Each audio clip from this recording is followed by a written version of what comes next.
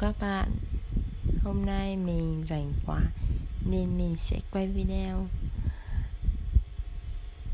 À, Gọt dứa của mình. Mình có một quả dứa um, Ở ngoài um, vườn bà mình.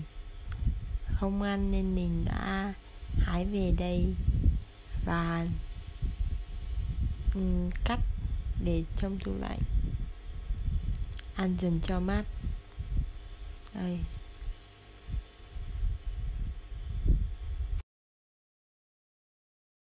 Dứa này thì gọi là dứa nhà dứa thời cổ rồi. Không phải là dứa dứa thái dứa ngọt như uh, các bạn mua ở ngoài chợ đâu. Dứa này mắt rất là to ăn cũng không ngọt lắm. Nhà mình thường dùng để nấu canh là chủ yếu thôi. Ít khi ăn ăn sống, ăn ăn hoa quả, kiểu hoa quả thế này á.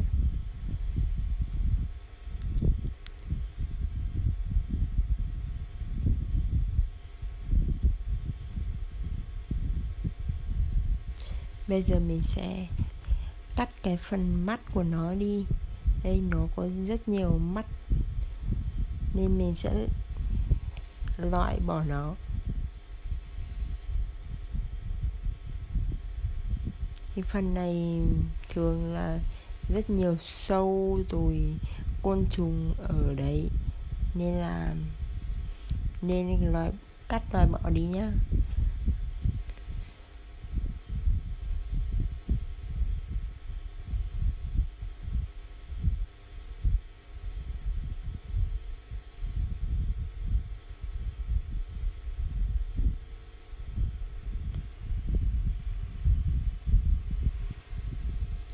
Dứa này người ta hay dùng để nấu canh chua đấy.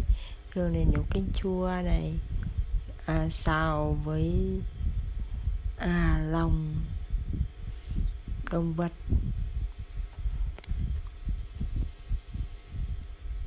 Nhà mình hay dùng gai để nấu canh dứa để nấu canh chua ấy. ăn rất là ngon. Vì nó cũng không quá ngọt. Không chua lắm ăn có vị thanh mát. Mùa hè, ăn dứa là ngon nhất đấy.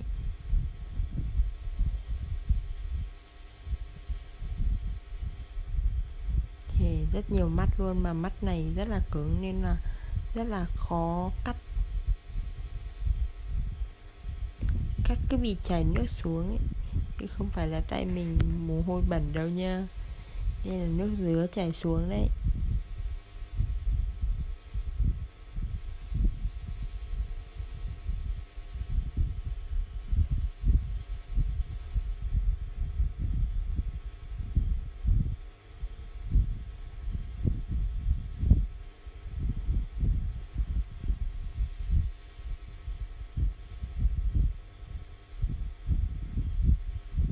Cắt xong rồi.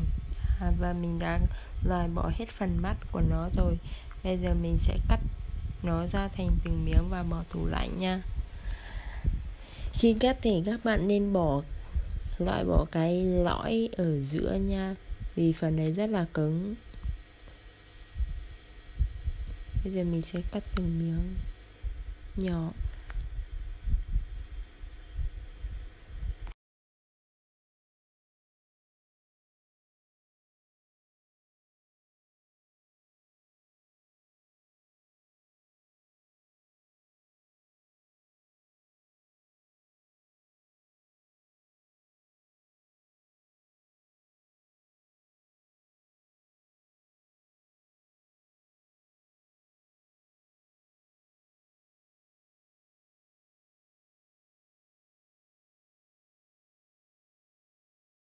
Bạn nha.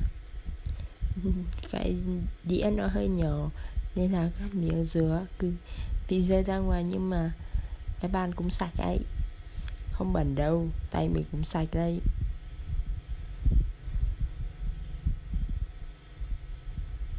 Ta-da.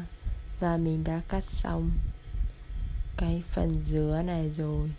Bây giờ mình sẽ cho vào tủ lạnh. Và mình sẽ chuyển sang nướng mực. Dê nhà mình vừa mới được cho vài con mực khô. Bây giờ mình sẽ nướng lên để nhắm, làm đồ nhắm, uống bia. Mình sẽ nướng hai con mực nha. Vì không có cồn nên mình dùng, mình sẽ nướng bếp ga luôn nấu bếp ga thì nhanh, đơn giản. Chỉ cần lật qua lật lại cho nó chín ra được.